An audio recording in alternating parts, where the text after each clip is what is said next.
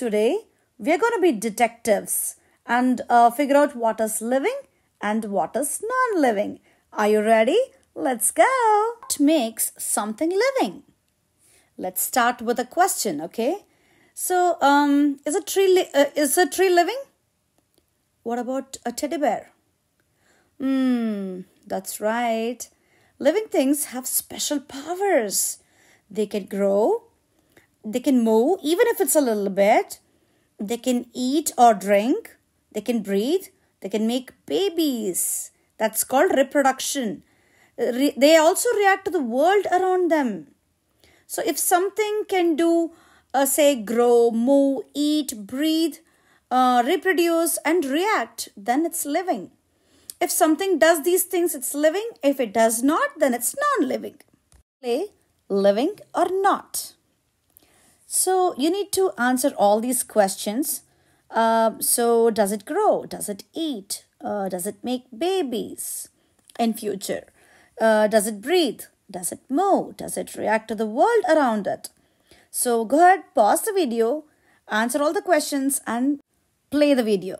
Did you get all your answers right? These are the answers. Does it grow? Yes.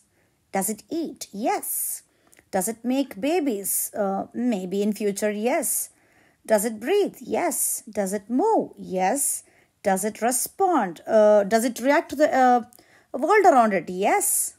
So it is living. Good job. How about this one? Pause the video, answer all your questions, and play the video. All the answers are no, so this is definitely non living. Did you get it? Good job. How about this one? Pause the video, answer all your questions, and play the video. Answer is uh, yes for these science questions. Did you get them right? So it's definitely a living thing. How about this one? Pause the video, answer all your questions, and play the video. All the answers are no, so this is definitely non living. Did you get it? Good job. How about this one? Pause the video, answer all your questions, and play the video. Answer is uh, yes for these science questions. Did you get them right? So it's definitely a living thing. How about this one? Pause the video, answer all your questions, and play the video. All the answers are no, so this is definitely non living. Did you get it? Good job. Let's play a challenge, okay? Look around your room.